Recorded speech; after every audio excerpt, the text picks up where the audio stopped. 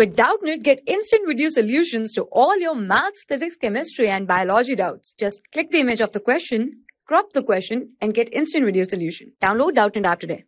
In this question it is given that let k greater than 0 and lambda equals to limit x tends towards 0 k into 1 minus 4 under root k square minus x square upon x square root k square minus x square be finite then the value of lambda k is so it is given that lambda is equals to limit x tends towards 0 k into 1 minus 4 root k square minus x square upon x square into root k square minus x square exists. Therefore, this implies limit x tends towards 0 k into 1 minus 4 root k square minus x square is equals to lambda into limit x tends towards 0 x square root k square minus x square. This term has been taken to right hand side as the limit exists.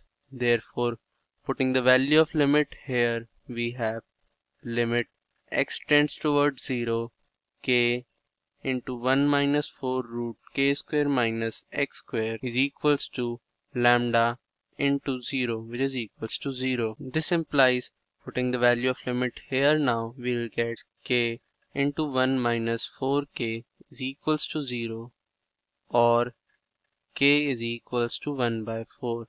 This is the value of k. Now for finding the value of lambda, putting the value of k in the limit we have lambda is equals to limit x tends towards 0 k that is 1 by 4 into 1 minus 4 root k square that is 1 by 16 minus x square whole divided by x square root k square that is 1 by 4 k square that is 1 by 16 minus x square.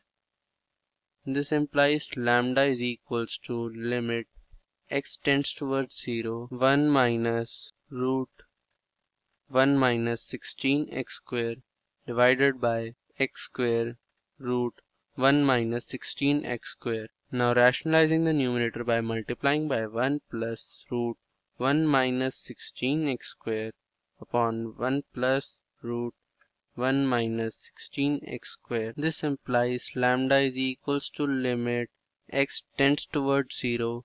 Now here the property a minus b into a plus b can be used which is equals to a square minus b square therefore this is equals to 1 minus 1 minus 16x square divided by x square root 1 minus 16x square into 1 plus root 1 minus 16x square. Now both these terms do not make 0 Therefore, we can take them out of the limit by putting the value of the limit.